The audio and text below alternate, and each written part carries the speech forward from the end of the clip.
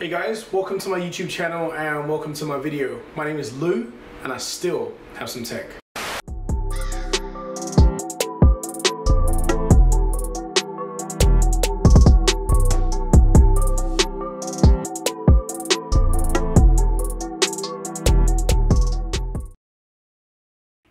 Hello, hello, hello. Hello, guys. Welcome to 2021. Happy New Year to everybody.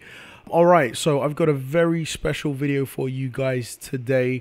We are going to be talking about the beautiful Power Color Fighter Edition Radeon RX 6800 card.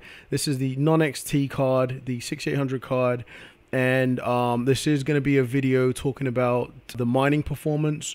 We're going to be doing an unboxing, and I'm also going to be showing you guys how to enable your smart access memory for those who have a 5000 series CPU and a 6000 series GPU to the extent you haven't done it already.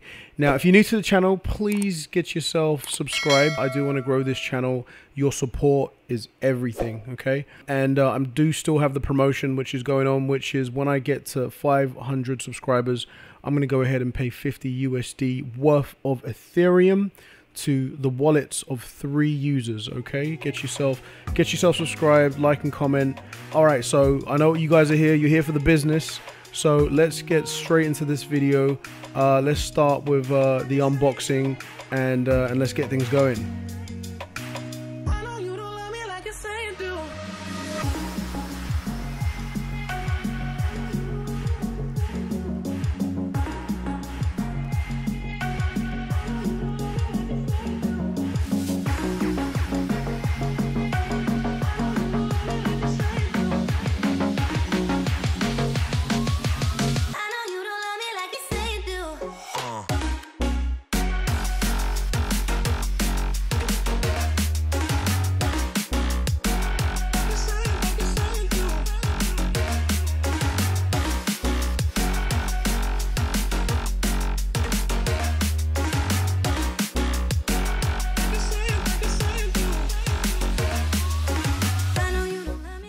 Okay guys, so as always, I want to show you what the measurement looks like. So I'm just to take a look there. I think you can see that it is just over 12 inches. I'm to flip this around so you can see it. Uh, just over 12 inches, so if you've got a 5700 XT in your rig, this is to be pretty much the same size.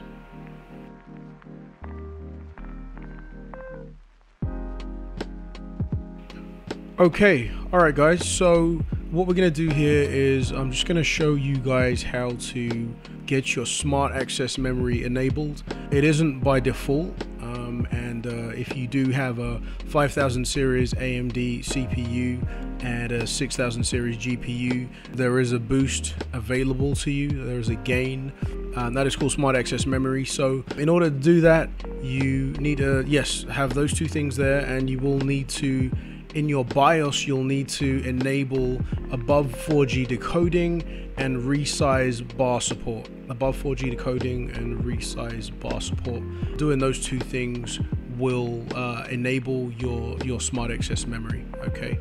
All right, so for me, my BIOS did not have um, those functions available. Well, it didn't have the resize bar support. It did have the above 4G decoding. So what I'm doing here is I am downloading um, the latest BIOS, and this BIOS will have the uh, the enable bar support, um, which is what we need to have your smart access memory working. Now, is this smart access memory going to make a difference? I don't know, but um, it's it's a boost there, so I think you should just go ahead and, and download it. So as you can see, I've downloaded mine right here and uh, you know just drag the file to my desktop. Uh, all you literally need to do is you just want to extract the file okay? And you just want to put that on a flash drive put that on a USB drive. I will show you the file in a second. So this file right here put that on a USB and restart your computer and uh, go through your settings to flash your BIOS and enable those functions and your smart access memory will be done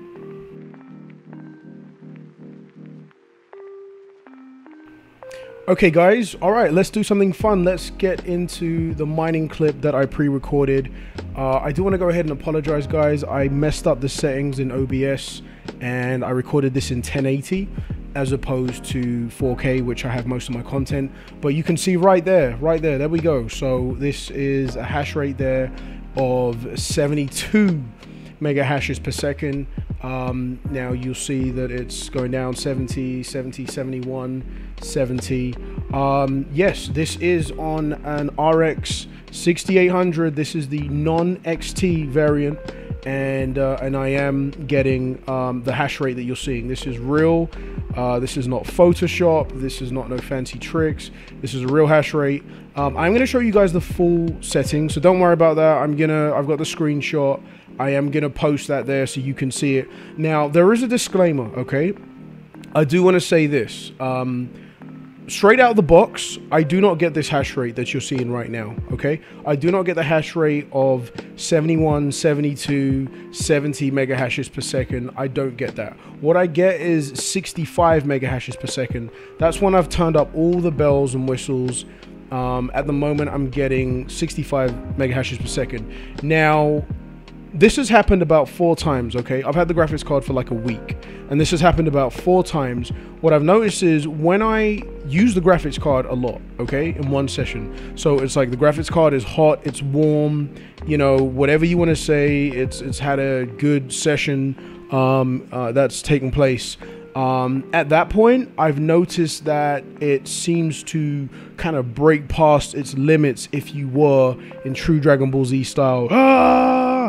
Um, so when that takes place, um, I am able to get a better better hash rate.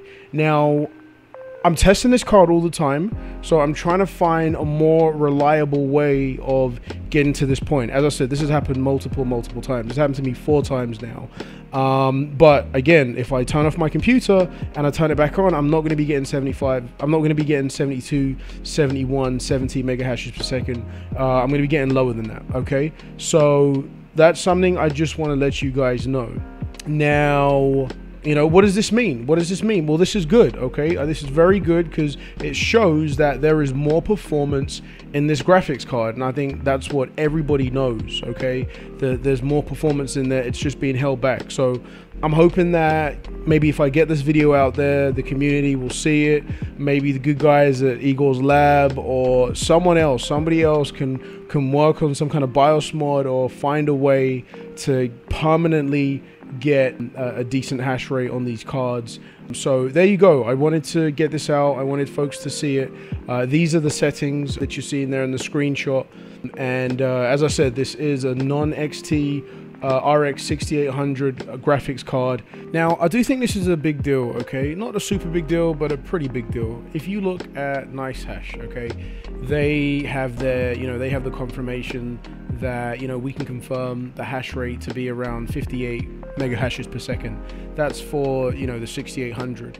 And as far as the 6800 XT, um, Minerstat has it confirmed to be at 66 mega hashes per second. So if we're getting 72, 71, that's more than what the XT is doing, which is absolutely fantastic. Okay. Um, again, we still think, well, I still think these could go further. I could be wrong, and if I'm wrong, you know, I'm wrong, and I hold my hands up. But uh, there you go. What do you guys think about this? Um, it's not like amazingly different, but it does take it into the 70s.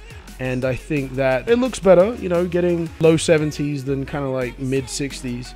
Uh, does that mean that uh, more of you guys are going to go out and get this card for mining? Um, does it mean that, you know, you guys are still going to stick with the 3080s and the 3060 Ti's? I mean, I want to know.